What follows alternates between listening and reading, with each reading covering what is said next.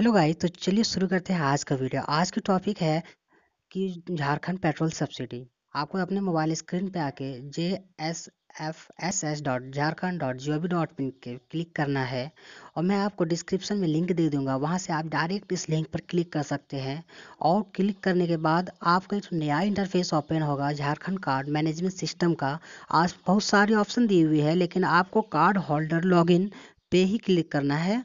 Click करने के बाद आपको देख सकते हैं कि नया इंटरफेस ओपन होगा, जहाँ पे आपको राशन कार्ड डिटेल्स टाइप करना है। मैं देखिए राशन कार्ड नंबर लिखा हुआ उस पर टाइप करना है उसके बाद card ration card number card type और राशन कार्ड के मुखिया के आठ डिजिट आधार संख्या और कैप्चा फिल करके आपको लॉगिन करना है। मैंने अपना डिटेल डाल लिया, आप भी अपना डिटेल डाल के इस पर लॉगिन पे क्लिक कीजिएगा। लॉगिन पे क्लिक करने के बाद आपको नया इंटरफेस ओपन होगा, जिसमें आपका राशन कार्ड लॉगिन हो जाएगा।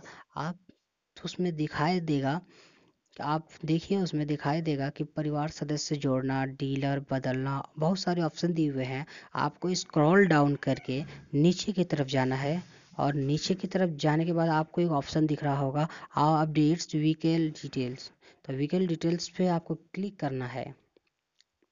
और वहाँ पे क्लिक करने के बाद फिर आपको नया इंटरफेस ओपन होगा। और जहाँ पे आपको एक सेलेक्ट फैमिली मेंबर उसमें आपको किसी फैमिली मेंबर का सेलेक्ट करना है और उसका आधार नंबर डालना है। मैंने एक सेलेक्ट कर लिया, उसका आधार नंबर आपको डाल लेना है। मैं भी डाल लेता हूँ। और आधार नंबर डालने के बाद वेरीफाई ऑप्शन दिया है, आपको उस पर क्लिक करना है। वेरीफाई के ऑप्शन पे क्लिक करने के बाद, दो सेकंड वेट करने के बाद आपको नीचे फिर नया फॉर्म ओपन हो जाएगा। नया फॉर्म ओपन हो गया, देख सकते हैं। और सेलेक्ट मेंबर जिसके नाम से गाड़ी रजिस्टर्ड है, उसका नाम सेलेक्ट करना होगा। और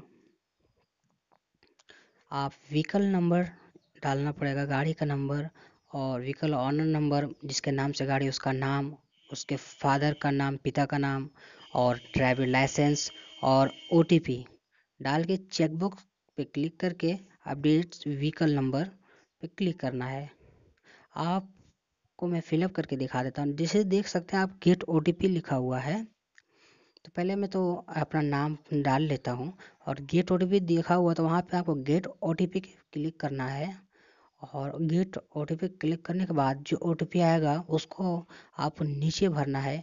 देख सकते हैं कि मेरा इनवैलिड मोबाइल नंबर बता रहा है, क्योंकि मेरा राशन कार्ड में मेरे नेम पर कोई भी मोबाइल नंबर रजिस्टर्ड नहीं है तो सबसे पहले उसको रजिस्टर्ड करना पड़ेगा और ओटीपी इंटर ओ टी पे उसमें डाल के आपको अपडेट व्हीकल नंबर पे क्लिक करना पड़ेगा।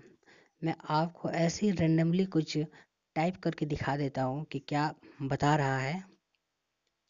आपका अगर मोबाइल नंबर रजिस्टर्ड है तो आपका हो जाएगा, वरना आपको पहले रजिस्टर करवाना पड़ेगा। मैं आपको दिखा देता हूँ कि इस पर अपडेट व्हीकल नंबर करने के बाद क्या लिखा हुआ आता है। लेकिन जिसका भी अगर अपडेट होगा मोबाइल नंबर, उसका आ जाएगा। देखिए, लिखा हुआ है, mobile number for selected member has not been seeded, please update mobile number first. पहले